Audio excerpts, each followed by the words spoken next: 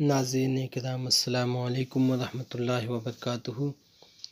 آج آپ کو الہ آباد کی سرزمی کے ایک عظیم العالی مرتبت بزرگ حضور سید محمد احسن سا رحمۃ اللہ تعالیٰ علیہ کے دربار گہربار کی زیارت کرا رہے ہیں۔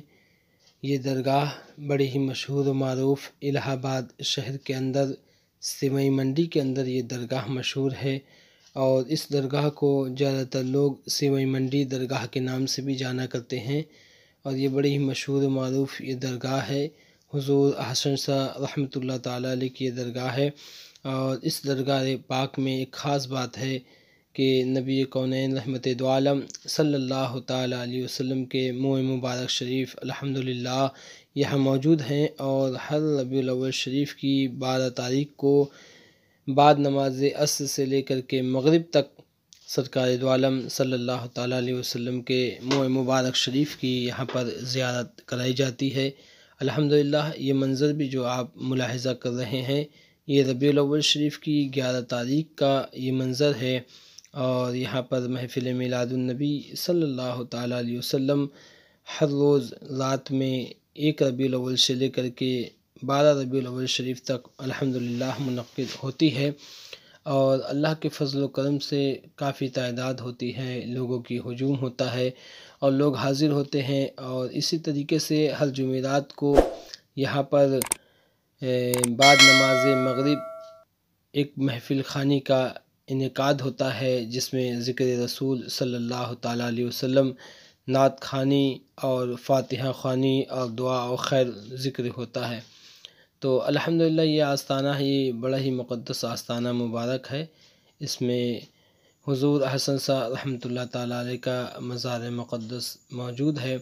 اور الحمدللہ یہ جو منظر آپ ملاحظہ کر رہے ہیں، یہ بارہ ربیع الاول شریف کی مہینے کے مقدس گیارہویں تاریخ کا یہ روح پرور منظر آپ کی نگاہوں کے سامنے پیش نظر ہے۔ اور یہ جو آپ سامنے منظر ملاحظہ کر رہے ہیں، یہ مسجد ہے۔ جس میں الحمدللہ پانچ وقت کی نماز اور نماز جمعہ بھی الحمدللہ ہوتی ہے۔ یہ سوئی منڈی درگاہ حضور احسن سا رحمۃ اللہ تعالیٰ علیہ کے نام سے دارا سا احسن اس کا نام ہے اور دارا سا احسن کے نام سے بھی یہ جانا جاتا ہے الحمدللہ۔ یہ مسجد ہے اور کافی ماشاءاللہ پرانی مسجد ہے۔ اللہ کے فضل و کرم سے اچھی طریقے سے اس کی دیکھ بھال ہو رہی ہے اور بہت ہی اچھی مسجد ہے ماشاءاللہ۔ اور اس میں نماز بھی ماشاءاللہ ہوتی ہے۔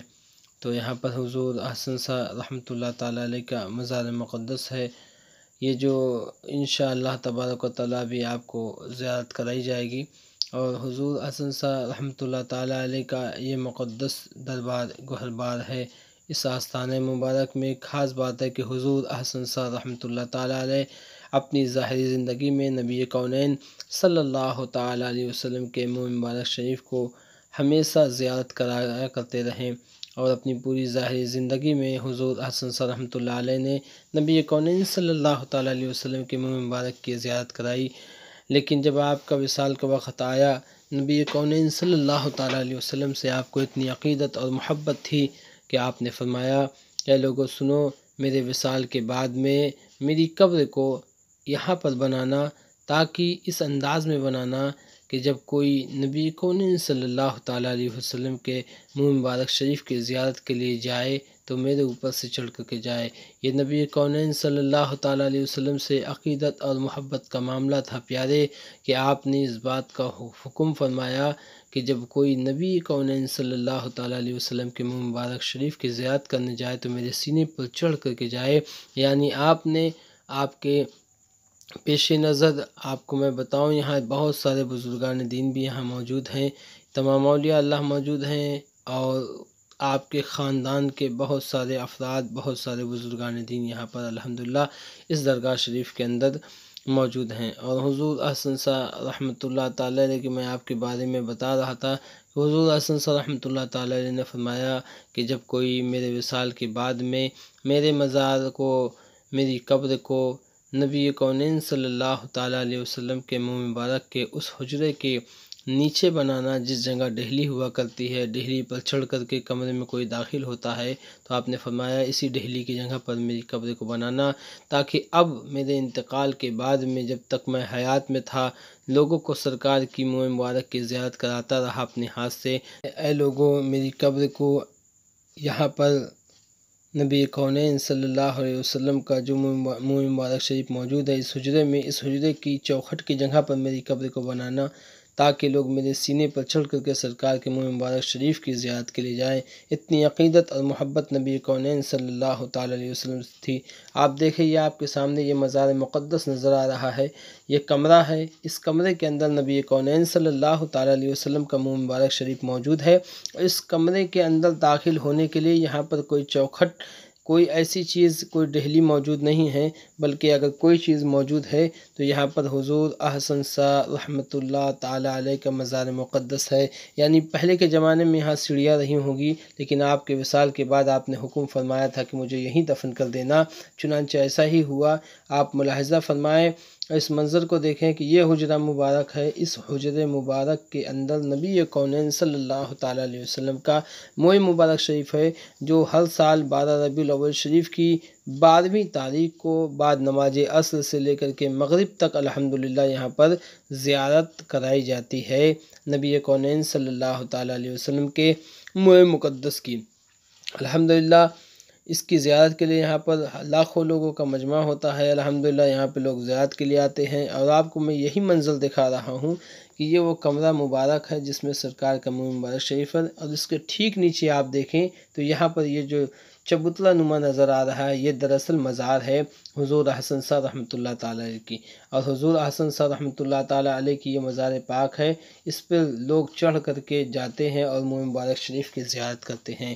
تو یہ بڑا ہی مقدس اور آستانہ مبارک ہے۔ ہمیشہ یہاں چادر شریف پڑی رہتی ہے، لوگ آتے ہیں، زیارت کرتے ہیں۔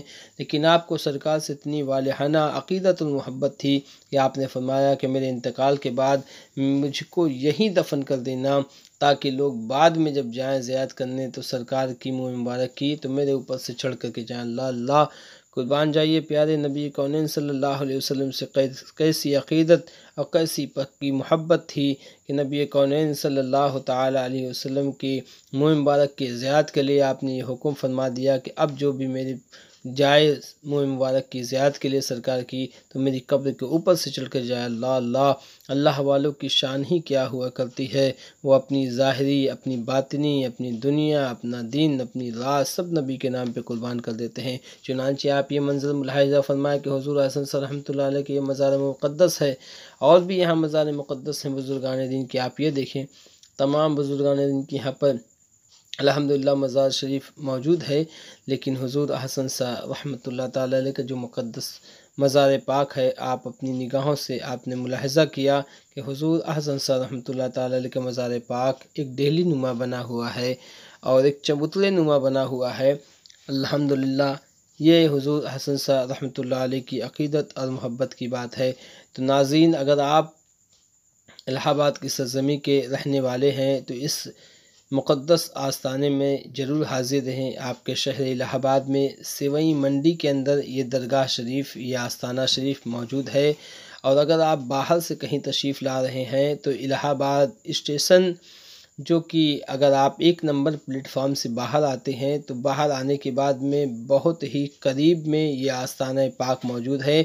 یعنی الہ آباد ریلوے اسٹیشن ایک نمبر پلیٹ فارم سے جب آپ باہر نکلیں گے، تو وہیں سے آپ کو گاڑی چوک کے لیے ملے گی۔ اور جو گاڑی، جو رکشہ آپ کو چوک کے لیے ملتا ہے، اسی چوک کے راستے میں یہ سوئی منڈی کے الحمدللہ درگاہ شریف آتی ہے۔ تو انشاءاللہ ناظرین، اگر آپ کہیں باہر سے تشریف لا رہے ہیں الہ آباد، تو اس آستانے میں حضور احسن سا رحمۃ اللہ تعالیٰ علیہ کے مقدس دربار گھر میں ضرور حاضر دیں اور حاضر دے کر کے یہاں سے فیوز و برکات حاصل کریں۔ اور ایک بات ہے یہاں پر الحمدللہ کہ یہاں پر ایک نقش پاک موجود ہے جو حضور حسن سا رحمۃ اللہ علیہ کے حکم سے یہاں پر نصب کیا گیا، جو پتھر کا نقش ہے، جو کوئی بیمار ہوتا ہے کسی کو شے، بوال، کسی کا مسئلہ ہوتا ہے تو اس نقص کو دھو کر کے سات بار اس کا پانی لے جاتا ہے، پلاتا ہے۔ اللہ تبارک و تعالیٰ اس نقص پاک کی برکت سے حضور حسن صلی رحمۃ اللہ علیہ کے صدقے میں اللہ اسے شفا یابی عطا فرماتا ہے۔